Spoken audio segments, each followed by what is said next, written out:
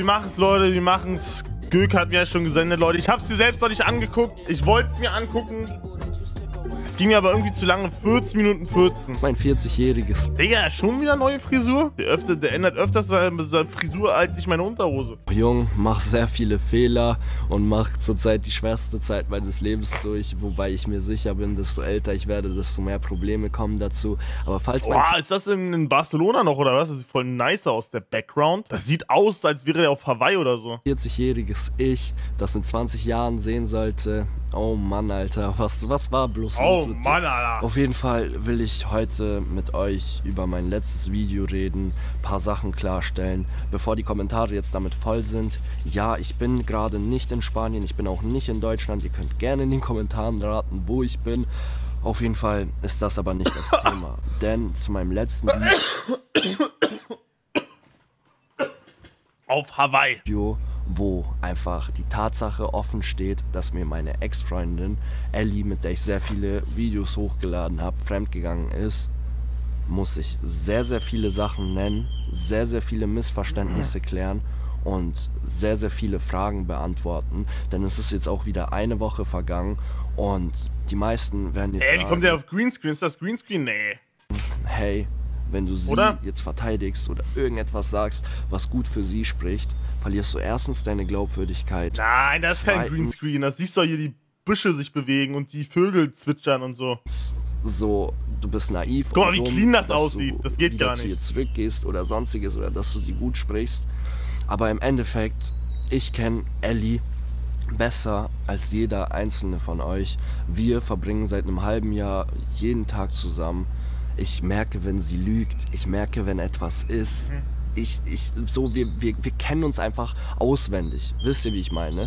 Wir haben einfach so eine krasse Bindung und so eine krasse Liebe zueinander, dass wenn es zu Hass kommt, natürlich sagen die meisten, wenn Hass der Liebe überwiegt und man solche Sachen macht, dann, dann kann da nicht viel Liebe gewesen sein. Aber im Endeffekt will ich euch einfach so viel heute erzählen und ich hoffe, ihr geht da nicht mit voreingenommener Meinung rein.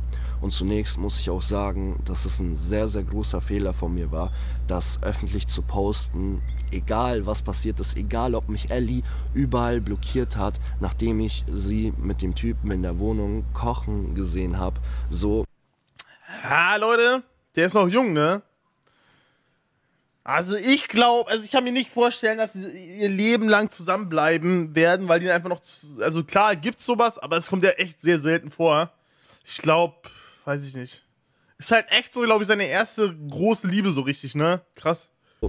egal ob sie nicht mit mir darüber geredet hat, es war einfach nicht richtig, darüber ein Video zu posten. Und da kommt Ja, das zur sowieso ersten nicht. Frage, wie bin ich überhaupt an dieses Bild und an dieses Videomaterial gekommen, wo der Typ bei ihr war. Ihr müsst euch vorstellen, diese Kamera, mit der ich gerade aufnehme, habe ich Ellie, nachdem wir uns getrennt haben, beziehungsweise ja, nachdem wir uns getrennt haben. So, wir haben jetzt nochmal darüber geredet. Es war keine Beziehungspause. Wir haben uns endgültig getrennt. Natürlich wurde von beiden Seiten aus Hoffnung gemacht und natürlich wussten wir, wir werden wieder zusammenkommen, weil wir einfach füreinander bestimmt sind. Aber ich habe ihr gesagt, okay, So, Leute, der rüstige Rentner ist zurück. Kamera, nimm den Laptop, nimm damit Videos auf, dass du dir deine eigene Wohnung finanzieren kannst, weil sie auch nicht mehr im Haus mit mir wohnen wollte, weil als wir uns gestritten haben, muss ich auch ehrlich zugeben, habe ich Worte zu ihr gesagt, die einen Menschen so sehr verletzen, Beleidigungen, die man nicht rückgängig machen kann und es tut mir auch vom tiefsten Herzen leid, darüber habe ich auch schon mit ihr geredet. Aber das sind alles Sachen, die man nicht rückgängig machen kann. Und wie gesagt, das wird auch das letzte Video sein, wo ich Ja, aber ich sag auch ganz ehrlich, sag ganz ehrlich, Leute, Beleidigung im Streit kann man auch nicht ernst nehmen, oder? Obwohl eigentlich, wenn man, wenn ich jetzt so überlege, die Beleidigungen im Streit sind meist die, äh, die, die, die, wie sagt man, die, äh, die wahrheitshaftesten, ne? Ja, ich glaube schon. öffentlich über. Ja, wer beleidigt oder so, wird gebannt. Ist mir scheißegal, Leute. Auch wenn ihr Simex nicht leid leiden könnt oder so, müsst ihr ja nicht beleidigen. Wir gucken uns ja unabhängig einfach neutral das Video an. Äh, und dann muss keiner beleidigen oder sonst was machen. Oder wenn ich auch sehe, dass ihr irgendwo beleidigt, werdet ihr aus dem Chat hier gebannt. Ganz einfach Geschichte. irgendwelche Probleme von mir rede, die meine Beziehung angehen und danach will ich auch nie wieder, dass irgendjemand etwas darüber sagt, denn egal in welcher Ey Leute, ich sag euch ganz ehrlich, wa- wa- was ich check nicht, warum die Leute gerade die ganze Zeit reinschreiben, im Hintergrund ist Greenscreen. Na und und wenn das Greenscreen, Bluescreen oder Graustream ist, es juckt mich nicht. Hä? Warum ist euch das so wichtig, ob das Greenscreen ist oder nicht? Ich check's nicht. Habe ich irgendwas verpasst? Seit wann ist Gr Gr Ich habe auch hier ein Greenscreen, Leute. Hast du auch ein Greenscreen hier? Alles Greenscreen. Beziehung, sei es ein Nader und eine Luisa, die streiten auch privat und die tragen das nicht in die Öffentlichkeit. Und egal welche Beziehung, jede Ja, auch wenn es ein Greenscreen es ist mir egal, ob es ein Greenscreen ist oder ob es kein Greenscreen ist. Ich weiß nicht, wie ihr drauf kommt. Wer hat euch diesen, dieses Floh in den Ohr gesetzt? Beziehung hat Probleme, jede Beziehung hat seine Bausteine, auf die man aufbauen muss. Und Mann, Mann, Es war Mann. einfach nicht richtig. Egal wie sehr ich es versuche schön zu reden, egal wie sehr ihr sagt, nee, sie hat das und das gemacht. Es war einfach nicht richtig und so etwas gehört nicht in die Öffentlichkeit. Und jetzt Ja, das war von ihm auch eine sehr unüberlegte Aktion gewesen, das in die Öffentlichkeit zu ziehen. Aber, Bro, das ist halt, ne, man kann es nicht mehr rückgängig machen. Zack, bumm, Internet drinne, das geht auch nicht mehr raus. Das ist für immer jetzt drinne. Das ist natürlich doof, aber das würde auch noch lernen so. Man muss immer dreimal überlegen, ob man ein paar Sachen hochladen will oder nicht, ne? möchte ich einfach euch die Sicht der Story erzählen mit Ellies Sicht. Als ihr euch fragt, wieso Ellie gerade nicht im Video ist, Ellie ist gefühlt genauso depressiv wie ich, Oh. weil diese Trennung hat Wenn ihr depressiv seid, Leute, ganz wichtig, sucht euch bitte Hilfe. Das ist ein äh, ernstes Thema. Dann geht euch, lasst euch helfen und dann ist, wird auch alles wieder gut. Scheut euch nicht, Hilfe zu suchen. Depressionen sind echt nicht schön und kann, kann gefährlich werden. Ne? Dann geht ihr irgendwo hin zum Arzt, sucht euch Hilfe. Der hilft euch und dann ist alles wieder gut. beide so Hoffe sehr zumindest. fertig gemacht. Es ist wie gesagt die schlimmste Zeit unseres Lebens und jeder, der schon mal Liebeskummer hatte oder eine Trennung durchmachen musste, weiß, wie wir uns fühlen und das, das wünsche ich einfach niemandem. Ich wünsche es nicht mal dem schlimmsten Feind von mir, dass er dieses Gefühl hat, dass er diese Leere in sich hat, weil- weil er denkt, dass er die wichtigste Person aus seinem Leben verloren hat und man die Lebenslust einfach verliert. Wisst ihr, wie ich meine? Die letzte Woche, wo ich ohne Ellie war, ich habe einfach meine Lebenslust verloren. Ich wusste einfach nicht mehr, was der Sinn meines Lebens ist. Und es haben sich auch sehr, sehr viele Leute bei mir gemeldet und haben Ja, Leute, ich sag mal so, ne, also, keine Ahnung, da die Lebenslust zu verlieren, ist natürlich Liebeskummer, traurig vielleicht, aber lasst euch eins gesagt sein. Andere Mütter haben auch schöne Töchter. Man kann natürlich traurig sein, aber dann muss das auch weitergehen irgendwo, ne? einfach versucht, mir zu helfen und dafür bin ich euch auch dankbar. Aber ich will nicht zu sehr vom Thema abschweifen. Kommen wir auf jeden Fall zu der Sicht von Ellie. Wie gesagt, sie will einfach nicht in YouTube-Videos sein, weil ihr die Kommentare so krass wehgetan haben. Und das kann ich natürlich auch verstehen. So, ich würde nicht anders handeln an ihrer Stelle. Auf jeden Fall müsst ihr es euch so vorstellen. Ich habe euch ja erzählt, dass wir uns getrennt haben und wir dann für eine Woche ungefähr keinen Kontakt hatten, beziehungsweise für vier Tage.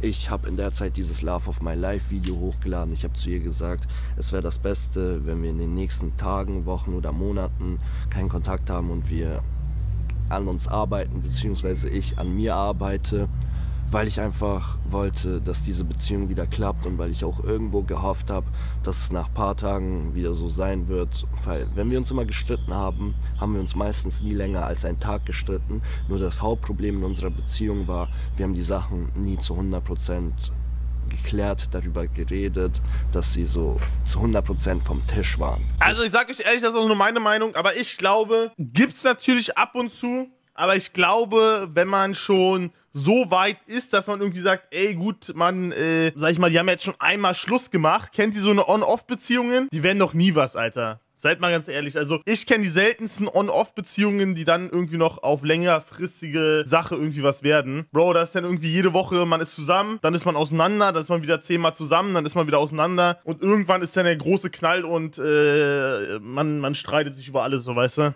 Ja, ich weiß nicht, also bin ich nicht so der Fan von. Wie ich meine. So, man hat alles in sich hineingefressen, weil Ellie ist so ein Mensch, sie frisst sehr viel in sich rein. Ich auch. Und irgendwann mal kocht das Fass über. Dann kommt unser Temperament ins Spiel. Und dann redet ganz Deutschland darüber. so, Ja, aber auf jeden Fall war es so, dass Ellie quasi auf sich allein gestellt war und dass ich ihr diese Kamera gegeben habe und gesagt habe, ey, du hast gerade 2000 Euro ungefähr auf dein Konto von den ganzen Videos, die du davor gemacht hast. Du hast hier den Laptop, mach Videos, ich Friday werde an mir arbeiten, du an dir. Und da ist es doch klar, ich habe das Haus, sie ist in einem Airbnb, wo sie bis zum 22. April raus muss und eine Wohnung finden muss. Wir sind nicht mehr zusammen, sie will nicht zurück ins Haus, kann ich natürlich komplett verstehen, vor allem nachdem wir uns so oft gestritten haben und ich sie auch beleidigt habe. Und kann ich natürlich verstehen, dass sie dann von einer Person, die sie beim Gassi gehen mit Taro getroffen hat, also der Typ, so wollte ihr nur helfen. Im Endeffekt kam dann raus, dass er andere Intentionen hatte, aber dazu komme ich auch gleich nochmal. Aber im Endeffekt hat sie nur von diesem Typen die Hilfe angenommen. Ich bin nach vier Tagen da vorbeigestrahlt und wie gesagt, Wer kennt sie nicht? Die Typen, die bei Liebeskummer helfen. man kann es verstehen, dass ich so ausgerastet bin, aber es war nicht richtig, dass ich direkt den Teufel an die Wand gemalt habe, gesagt habe, dass sie mir fremdgegangen ist und sonstiges, aber es war auch nicht richtig von ihr, dass sie nicht direkt mit mir geredet hat und mich, also ich bin halt komplett ausgerastet, so, und, aber es war halt auch nicht richtig von ihr, dass sie mit dem Typen dann weiterhin da geblieben ist und es nicht direkt mit mir geklärt hat oder mit mir geredet hat. Aber wie gesagt, ich kann es verstehen. Ich habe sie beleidigt und währenddessen, als ich sie mit dem Typen da gesehen habe, obwohl die nur gekocht haben, bin ich noch mehr an die Decke gegangen. Kann man aber, denke ich mal, nachvollziehen. Dafür muss ich mich jetzt nicht großartig rechtfertigen. Die meisten wären, glaube ich, noch mehr ausgerastet als ich. Und dann war es halt auf jeden Fall so, dass ich die Kamera und den Laptop mitgenommen habe, weil ich mir so dachte, ey, ich zahle nicht das Airbnb, wo du mit einem random Typen keine Ahnung was machst. Aber wie gesagt, es hat Ja, ich finde die Atmosphäre auch geil. Das ist ein geiler Hintergrund halt, ne? im Endeffekt rausgestellt, dass nichts zwischen denen lief. Im Endeffekt weiß es nur Ellie, aber ich kenne Ellie und Ellie sagt mir immer die Wahrheit. Und wenn da was gewesen wäre, wir hatten so tiefgründige Gespräche, dann hätte sie es mir auch zugegeben, weil ich habe zu ihr gesagt, wir waren dann nicht zusammen. Wenn du es mir offen und ehrlich jetzt sagst, so, dann passt es. Und wenn sie mich angelogen hat, dann muss sie es für sich ihr Leben lang mit einem schlechten Gewissen tragen. Und ich glaube, das will kein Mensch, vor allem wenn die Person dann auch noch so einsichtig ist und sagt, ich finde das nicht Gut, ich will das einfach nicht bewerten, Leute. Aber, naja, schwierig, schwierig, schwierig, schwierig. Aber ich sag euch ehrlich, so miteinander kochen, das machst du ja nicht einfach so mit irgendjemandem. So, weißt du, was ich meine, Leute? Seid ehrlich. Ich, ich überlege gerade. Warte mal, ich guck mal weiter. Schlimm, weil wir waren nicht zusammen. Egal wie sehr wir uns gegenseitig Hoffnung gemacht haben, du mir Hoffnung gemacht, dass ich dir so. Und natürlich kann man trotzdem weiterhin den Teufel an die Wand malen und sagen, doch, doch, da lief zu 100% was. Aber im Endeffekt weiß es nur Ellie, im Endeffekt kenne ich sie am besten und im Endeffekt sagt mir auch mein Gefühl, dass Ellie zu so etwas nicht in der Lage wäre.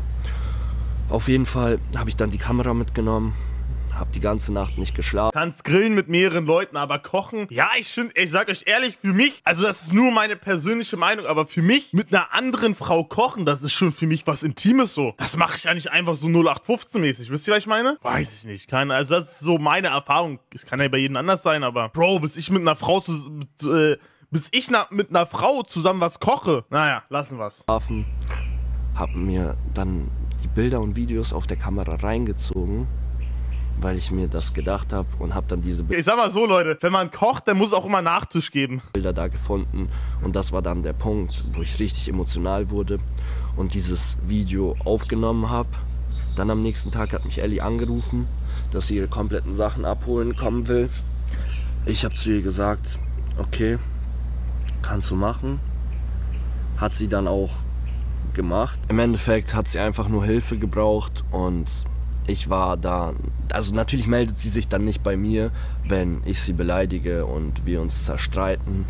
Natürlich ist es nicht korrekt, dass sie mir dann nicht Bescheid sagt, dass sie mit einem anderen Typen ist. Aber ja, es war einfach eine Aufeinanderreihung von Fehlern. Ich will euch einfach nur jetzt nochmal sagen und ich werde auch Ellie gleich holen und vielleicht will sie. Äh, Leute, nicht desto trotz, ne? Kann ja alles so gewesen sein. Ich kann ja nur aus meiner Erfahrung erzählen. Ich wünsche dir natürlich trotzdem alles Gute und ähm, dass sie vielleicht heiraten die ja sogar. Ich würde es feiern. Ey, das ist ja krass. Überleg mal, Simex macht Hochzeit. Das will ich, ey, das will ich echt fühlen. Ich hoffe es für die beiden. Mal selber was dazu sagen. Aber ich kann euch sagen, dass Ellie die Liebe meines Lebens ist und dass ich. Bro, ich find's krass. Er sagt's, er, ich, ich glaube, er, er, liebt sie echt heftig, ne? Also es ist echt insane so zu sehen. So. Also man merkt echt schon so krass, krass, krass. Ich bin gespannt. Ich, Siemens ist ja noch relativ jung, ne? Ich weiß nicht. Ich weiß, ich, das ist halt noch, so man jung ist und so. Ich weiß nicht, keine Ahnung. Wisst ihr, was ich meine? immer noch vorhab, dieses Girl zu heiraten. Und allein schon Beweis genug dafür ist, dass sie sich einfach ein Tattoo von meinem Gesicht machen will und ich immer noch das von ihr. Und sie kommt jetzt auch gerade, also das war nicht abgesprochen. Und sie kann ja selber jetzt was dazu sagen. Also ich habe jetzt grob alles erzählt. Willst du selber noch was dazu sagen? Das Einzige, was ich dazu sagen will, ist, kein Girl braucht ihm mehr zu schreiben. Er braucht nicht von euch getröstet werden. That's my boy. Und wo wart ihr damals, als er Shitstorm bekommen hat? Wo wart ihr damals? Jetzt auf einmal seid ihr so, oh ja, du Armer, soll ich dich trösten? Oh mein Gott, soll ich dich in, in Spanien besuchen kommen? Allein meine ex-beste Freundin, der ich angeboten habe, hey, wenn du Probleme hast, du kannst nach Spanien kommen, ich bin für dich da. Sie schreibt mir, ja, sie weiß noch nicht, weil wir ein paar Probleme hatten. Obwohl sie ihn damals so gehatet hat, obwohl sie damals gesagt hat, ich soll nicht mit ihm zusammenkommen und sowas. Sie wäre dazu bereit gewesen, obwohl sie einen Freund hat, zu ihm zu fahren für ein paar Tage auf seinen Nacken. Deswegen, Leute, glaubt nicht alles, was im Internet ist. Manchmal passieren auch Sachen aus Emotionen und ja. Manchmal überwiegt der Hass, beziehungsweise man macht Sachen aus Liebe. Die aber eigentlich nicht passieren sollten. Ja, die so krank sind. Und im Endeffekt haben wir beide sehr, sehr viele Fehler gemacht. Im Endeffekt ist sie mir nicht fremd gegangen. Ich habe mich einfach nur zu sehr reingesteigert. Und apropos zu dem Thema, so ihre beste Freundin, da haben sich wirklich noch nie so viele Girls in meinem Leben bei mir gemeldet. Und allein schon die Tatsache, dass ich, obwohl ich jetzt so gut dastehe, und obwohl und so ich viel Geld mit diesem Video verdient hast. Oh ja, und obwohl ich da so viel Aufmerksamkeit mitnehmen könnte und das Thema so ausschlachten könnte, das Video hatte nach 12 Stunden 400.000 Aufrufe, ja. so, das ist geisteskrank gewesen. Er hätte es ausnutzen können und ja. hätte sagen, und hätte weiter irgendwelche Sachen von der Beziehung preisgeben können oder sonst was.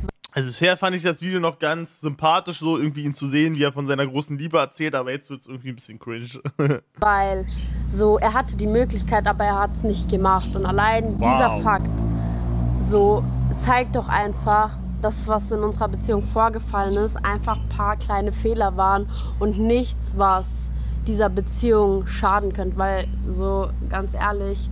Im Endeffekt gehen wir mit sehr, sehr viel Positivem aus dieser Beziehung raus wir haben selber gemerkt, dass wir ab jetzt immer über unsere Fehler oder über unsere Auseinandersetzungen reden müssen und alles immer direkt klären müssen und nicht in uns hineinfressen müssen. Aber das ist jetzt auch nicht das Thema. Grüße gehen raus an alle Girls, mhm. an alle Insta-Models mit Verifizierungshaken, die mir auf Insta geschrieben haben. Ich küsse euer Herz. Mashallah, bei Simex läuft! Aber Tiger. ich liebe sie trotzdem immer noch und das wird sich niemals ändern. Falls ihr wissen wollt, was es mit dem Ganzen hier auf sich hat, dann lasst einfach ein Like da, lasst ein Abo da und ja, kauft ihr Album. Das war wie gesagt ein Promo-Move. Ja, safe. Ihre erste Single kommt morgen. Fremdgeherin. Ja. Oh, checkt Z-Max ab. Ja, was gibt's dazu noch mehr zu sagen? Gibt nichts mehr zu sagen. Ich wünsche beiden alles Gute. Junge Liebe. Der jungen Liebe. Leute, das will ich mir nicht nachsagen lassen. Will ich nicht im Weg stehen. Der jungen Liebe. Öffnen wir die Türen. Ganz einfach. Also ich glaube, meine Meinung nach, ohne dass jetzt auch dass irgendjemand das bewerten muss. Ich glaube nicht, dass die in zwei Jahren noch zusammen sind. Ich weiß nicht, keine Ahnung. Das ist jetzt einfach mal so meine Prognose. Ich glaube, das geht vielleicht noch ein Jahr und dann. Ich kann mir nicht mal mehr ein Jahr vorstellen, sag ich euch ehrlich. Ich weiß nicht, Leute. Aber das, wie gesagt, das ist ja. Ich weiß nicht. Ich wünsche dir natürlich alles Gute, gar keine Frage. Mal gucken. Ich bin gespannt, wir werden das weiter verfolgen. Ich denke mal, die werden uns berichten auf YouTube oder auch nicht. Mal gucken. Ja, die beiden müssen noch viel lernen. Die sind aber noch jung. So ist das halt, ne? Das sind, sind noch ein paar, paar junge Buben.